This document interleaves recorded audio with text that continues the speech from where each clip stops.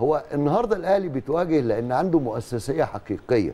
الاهلي يسوق الاهلي يبيع ويشتري الاهلي يبني فروع فيستثمر فيفتح ارزاق لناس ب ب يعني والله مش كلام كبير ولا لسه المفاجآت قادمة بطبيعة خلي بال حضرتك. بغض النظر يا كابتن عن المفاجآت البلد بقى بتعمل إيه بقى؟ البلد شغالة في مناحي الحياة مش بس أنا هقول حاجة مفاجآت قادمة في الناحية الاستثمارية طبعا يعني ما أنا بكلم حضرتك في آه. كده.